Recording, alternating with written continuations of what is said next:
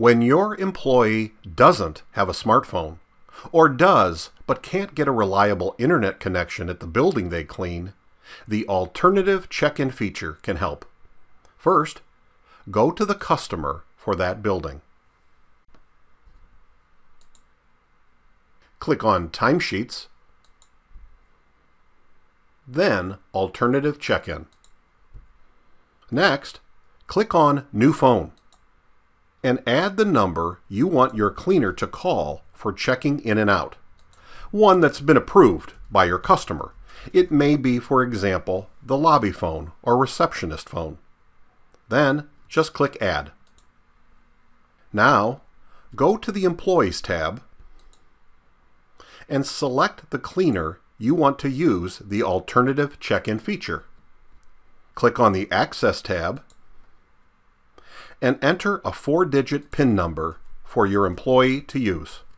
Or click Generate to have one suggested automatically. And click Save. Then, just go to Tickets, Templates,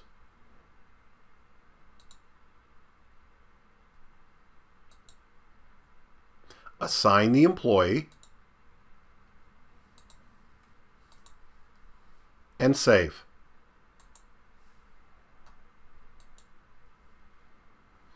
Now, they'll be able to check in and out using alternative check-in. But first, you'll need to let the employee know the phone number to call and code to use. So, just click on the gear icon here at the top of the page. Then Settings.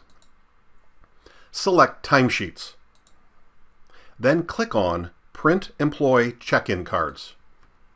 A helpful form will appear showing the alternative check-in phone number for them to call. After entering their name and PIN number, you can print, email, or take a picture of the image to text them. That's it.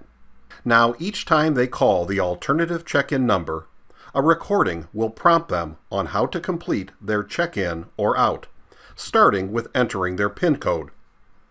Their timesheet information will be recorded and available for review and payroll purposes, just as if they were using the timekeeping app on a smartphone.